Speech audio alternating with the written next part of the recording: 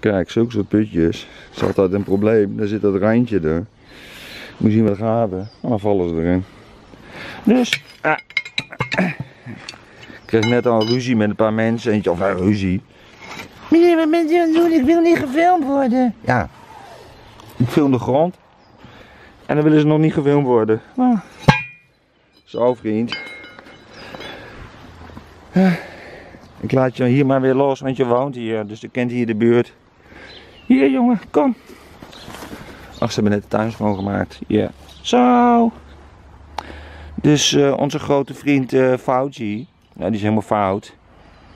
Het schijnt dus dat al onze regeringen, al onze leiders, die hebben meegewerkt.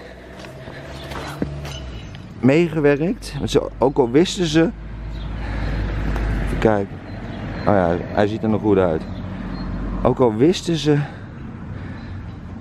dat mondkapjes niet werkten. En eh, dat een avondklok niet hielp. En eh, dat iedereen eh, thuis moest werken en alleen moest zijn en afstand moest houden.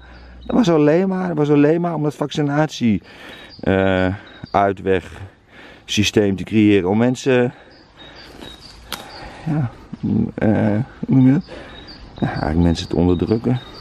Ze worden gewoon onderdrukt met de hele dag die propaganda, killer virus, dit en...